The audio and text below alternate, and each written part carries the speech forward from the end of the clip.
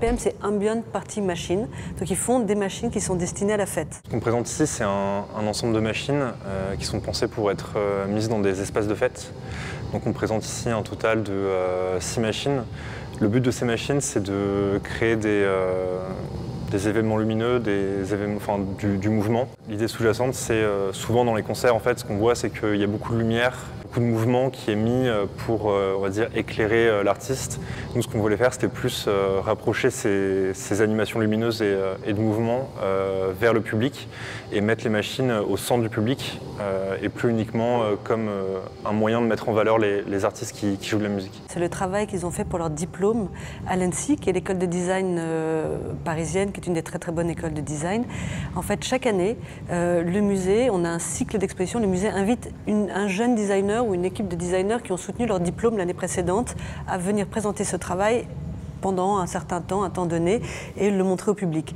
En fait, c'est la façon dont le, musée s'engage pour soutenir la jeune création. Après nous, il y a un truc qui nous intéresse beaucoup, c'est les notions de technique et de technologie. Donc euh, ce qu'on voulait faire, c'était euh, faire qu'on ne regarde pas que les effets, mais que euh, les dispositifs techniques deviennent en soi des choses à regarder et à observer pendant la fête. Certaines machines qui vont fonctionner de manière permanente, donc qui vont être tout le temps allumées, euh, qui vont créer plutôt des sortes d'atmosphères et essayer de générer des comportements quand on sera face à elles.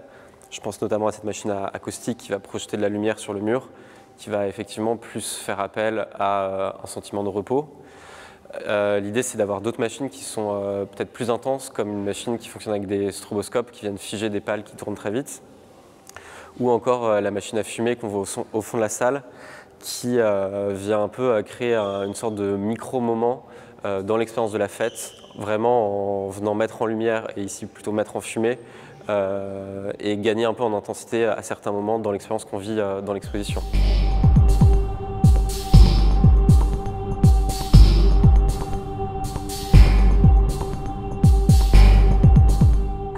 On essaye de trouver des sujets, en tout cas de, choisir, sélectionner les sujets qui portent le plus d'enjeux de société, euh, ou bien parce qu'ils sont particulièrement intéressants sur le moment, ou parce qu'ils abordent justement des sujets euh, qui traversent toutes les sociétés. Dans le cas d'APM, c'est un peu les deux, parce que la fête, c'est évidemment un, sujet euh, presque anthropologique. Toutes les sociétés ont exacerbé la question de la fête, ont une culture de la fête très personnelle. Et en plus, je trouve qu'aujourd'hui, en Europe, cette génération, donc des, des 20, 20, 20, 30 ans, euh, va beaucoup fréquenter énormément les festivals de musique. Et il y a tout, en tout cas dans le domaine du design, il y a toute une génération qui s'intéresse euh, à cette question de la musique, des festivals de musique et de comment est-ce qu'on peut les scénographier, intervenir. Et ce qui est très intéressant dans le projet de, Roman et de Tom, c'est qu'en en fait, ils ont créé des dispositifs qui vont au-delà de ce qui existe aujourd'hui, c'est-à-dire que jusqu'à présent, ces machines, ces lumières, ces effets techniques euh, sont vraiment destinés à la scène. Ils mettent en valeur en général le chanteur, le musicien, enfin la scène musicale, euh, alors que les machines qui créent, eux, sont une troisième entité en fait. Il y a la scène, il y a le public et il y a leurs machines qui sont autonomes et qui fonctionnent vraiment comme des, objets en, eux-mêmes, qui créent une sorte d'autres de, spectacles en fait, à la fois au sein de la partie euh, la plus on va dire, marchante de la fête, mais aussi il y a certaines, machines, comme vous avez pu le voir, qui sont euh, peut-être pour des endroits plus calmes, des aires de repos, etc. Et c'est vraiment le reflet de, de, leur grand intérêt pour la technologie. Je pense que tous les deux s'intéressent vraiment aux hautes technologies et à la façon dont la technologie peut rencontrer aujourd'hui, à notre époque, en 2020, euh, des aspirations humaines, sensibles, euh, émotionnelles. Et c'est pour ça que ce, voilà, ce, projet nous a paru vraiment, vraiment intéressant et prendre place. Euh, on est ravis que dans les murs de cette prison, qui est quand même une architecture un peu brute, ben, il y ait la fête.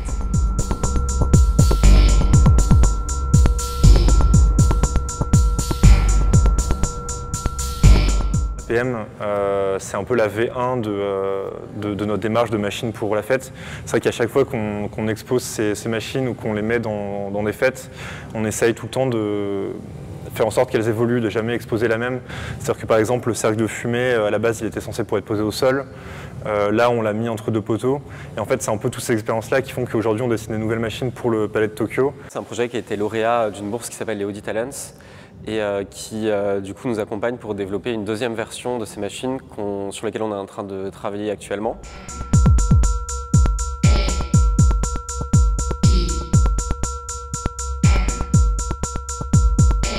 On se définit vraiment comme des designers, Donc les objets, on ne veut pas que ce soit entièrement des créations, enfin uniquement des créations plastiques, mais une création qui, qui puisse être utilisée par d'autres. On est hyper intéressé par donc, tout ce qui est l'aspect expérimentation et même aller plus loin, vraiment l'aspect recherche. Donc comme il y a un thème qui nous plaît beaucoup, qui est la technique, qui est vraiment un squelette dans notre pratique, on a voulu interroger une notion qu'on a écrit comme euh, technical happiness, donc euh, quels sont euh, les sentiments que procure la, technique. Du coup, c'est une revue de recherche en fait, qui va convoquer des interviews, des articles, mais aussi des productions plastiques. donc ça peut être des artistes, des designers, des sociologues, des anthropologues.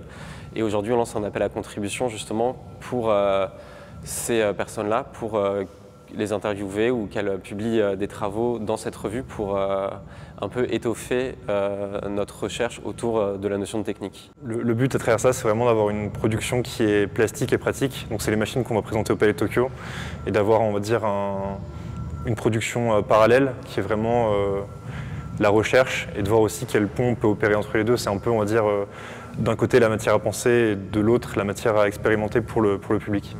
On se réjouit beaucoup parce que la fête entre dans le musée. Deux nouvelles dates de rencontre avec des DJ de Bordeaux, donc de la FIMEB, qui est en partenariat avec nous sur cette exposition. Et donc le samedi 15 euh, février et le samedi 29 février, entre 4h et 6h, il y aura ces DJ qui vont venir et qui vont interagir avec les machines de Roman et Tom.